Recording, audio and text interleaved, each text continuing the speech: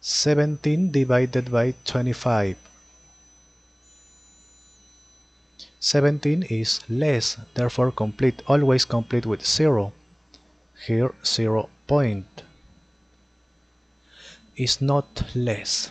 25 multiplied by which number is nearest to 170 but not greater 25 multiplied by 7 is greater. Multiplied by 6 is 150 okay?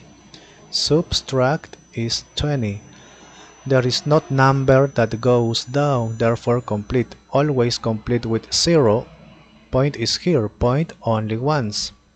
225 multiplied by which number? Multiplied by 8 is exact 200 okay is not greater. Subtract 0 0 therefore finish. Therefore okay finish